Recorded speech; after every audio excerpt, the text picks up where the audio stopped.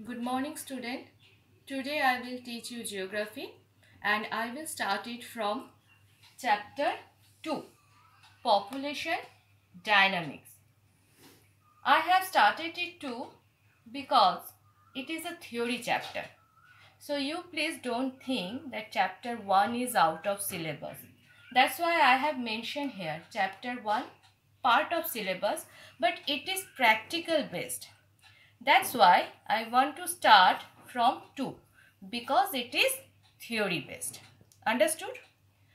Now, for this subject, you need one copy. I prefer small copy, you know that one, but it can be practical or ruled, that is your choice. But one copy you will maintain for this subject. Classwork, homework, everything you will do in that copy. So now population dynamics. Population dynamics. What is the meaning of these two words? Population means you know inhabitants. Number of inhabitants in a particular area. And dynamic means here in this subject it means properties. Properties of population means everything. You can say human force, education system, uh, population growth, population distribution, population density, everything.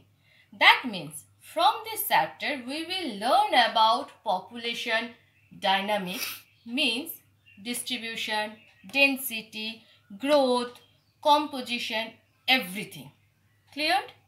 So now I will start from distribution of population. What is the meaning of this word?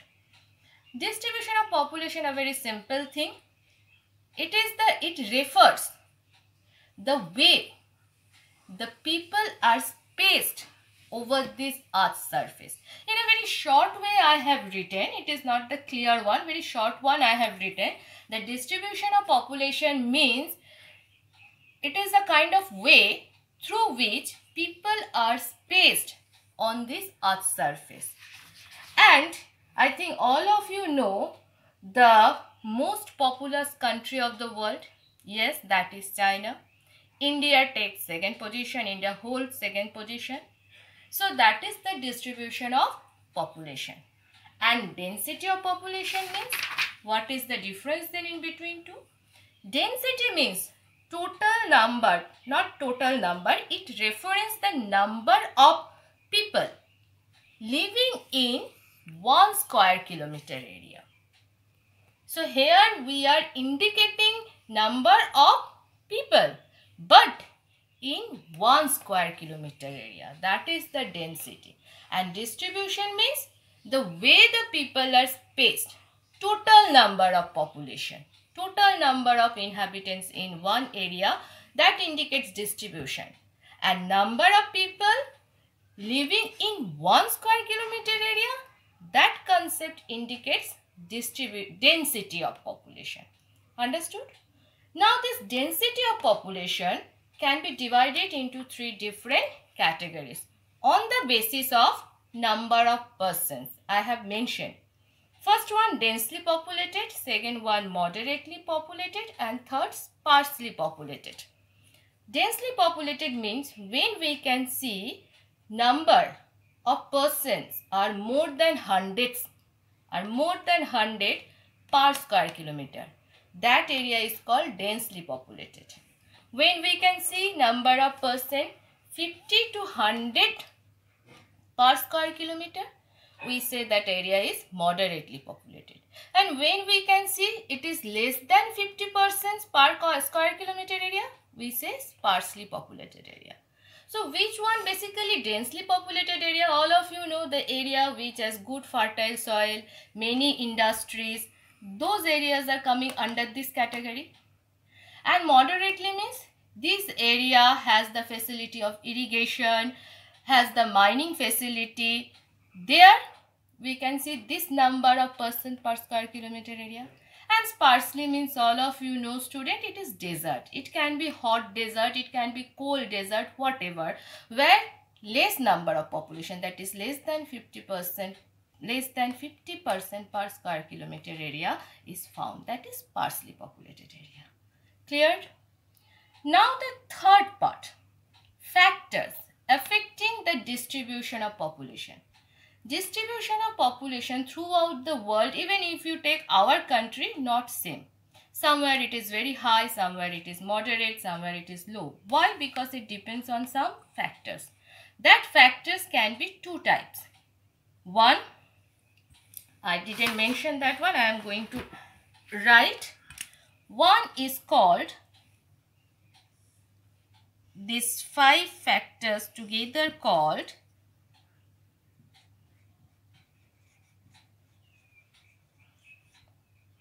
natural factors. Understood? This one is called natural factors. Under the natural factors we are getting this five subdivision. And another one is called this five. This not five here six are there. It is called economic or cultural factors. So factors which affect the distribution of population can be two types one is physical or natural it has one more term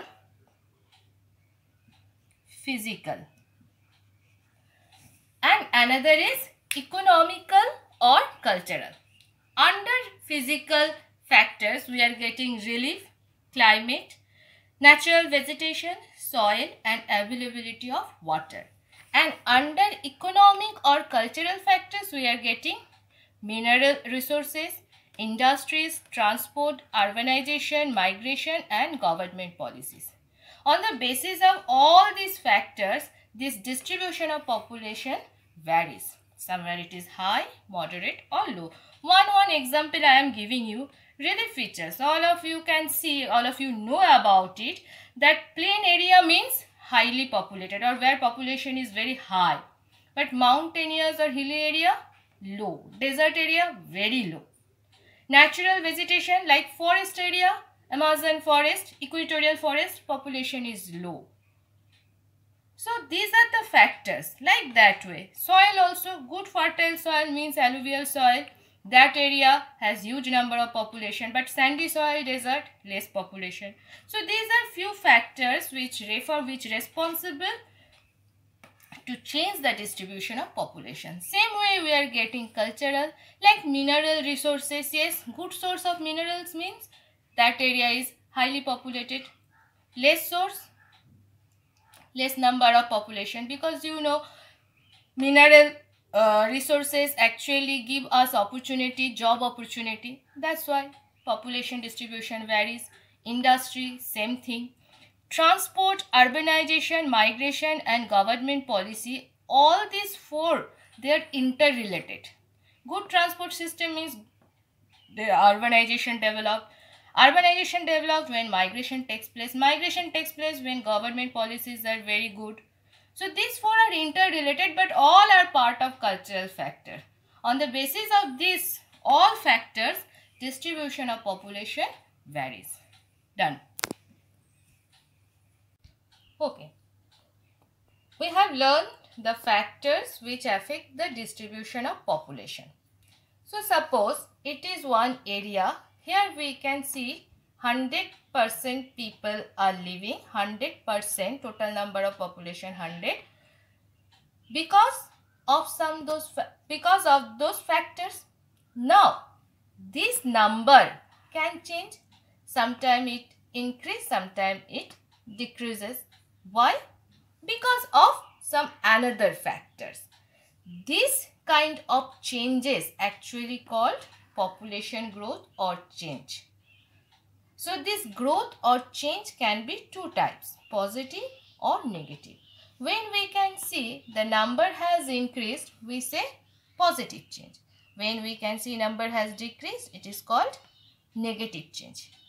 These changes mainly depend on these three factors that is called components of population change and the factors are birth rate, death rate and migration. Very simple, if birth rate increases means we will get positive change. Death rate increases means we will get negative change. And migration, it leads both the changes. So migration, what is migration which is a completely new term for us. I am going to discuss that one. So migration is responsible for positive change even negative change also. So what is migration? But before knowing that birth rate and death rate, these two meanings are very important.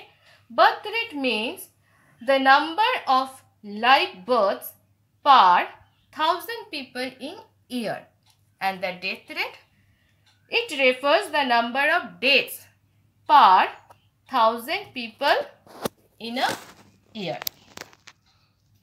and now migration which is the important migration means the movement of people from one place to another is called migration i repeat the movement of people from one place to another is called migration. So suppose it is place A and it is place B. So the movement of people, suppose people are moving from A to B. So this is called migration. Clear? So migration means the movement of people from one place to another. That is migration. But it can be two types. In migration and out migration means see this one from here from A to B people are moving. So what happened here number is increasing. So it is called in migration. And here number of population decreasing. It is called out migration. Understood? So migration mainly two types, in migration and out migration. In migration refers increasing number of population and out migration refers decreasing number of population. It leads mainly overpopulation and this one leads underpopulation. And these two categories these two characteristics not good for any place. Overpopulation, you know what are the effects of the overpopulation? Depletion of natural resources, unemployment, crime, environmental degradation and here population is too low to utilize the resources properly of this place. So both are not good for any place. But this migration is responsible for overpopulation and underpopulation. But yes, it's true, not only migration, overpopulation and underpopulation also depends on birth rate and death. But here I am discussing migration. That's why I am telling migration is also responsible for overpopulation and underpopulation. And these two are found when in migration take place and out migration takes place. Understood? So these are the two types of migration. Whatever the type, it can be taken in four different areas. I have written migration can take rural area to rural. R and U I have written R means rural, U means urban. Rural area to rural area, urban to urban it may happen, rural to urban it may happen or urban to rural area it may happen. So in these four different areas migration can take place. What type of migration? Either in migration or out migration. Now this is our fifth topic composition of population. Before starting this I want to say something. Topic 1, 2, 3 and 4 like distribution of population, density of population, factors affecting the density, even population growth. These four topics were related to quantity of population and this topic is related to quality of population. Now we can say that somewhere distribution of population more, high, moderate, whatever. But this number of population has some quality that is called composition of population. So one area, the number of population of that area has some quality or characteristics. those characteristics are which one I am going to say now age composition, sex ratio, literacy rate and age and sex pyramid. These four are the characteristics of population which we say composition of population. It tells us about the quality of population. So first age composition. Age composition means age structure. In one area we are getting different people of different ages. And on the basis of that concept we are getting three categories. Children, age category limit 0 to 15, adult age limit 15 to 60 and the old age age limit 60 and more than that. And on the basis of this age category we are getting these three terms. 0 to 15 which one is called children group coming dependent age population. This group called adult 15 to 16 they are called working population age. And the last old age 60 and more than that they are also coming in a same category like children dependent one. So very simple example you take any one place where we can see working population is more. So this age group is more than this two group. Means that place has enough human force enough human force means more development but you think just opposite one where this working age group is, is less and these dependent groups are higher than that. So what is the problem? They will create burden on this working age and we cannot see any development of that place. So on the basis of these categories of population based on age group, we can say the age composition of any place and the better composition situation is which one? When we see adult group is more than the children or old age group. Done? Our next one is sex ratio. Sex ratio means it tells us about number of males and females of a particular area. And generally we express it like number of females. We described it number of females per thousand male. And all of you know in our country this ratio is not good. In our country females number less than the male. Literacy. You know about this characteristics. Literacy means it tells us about education. Number of educated people of any place. That one we can express with this term literacy and the age and sex pyramid.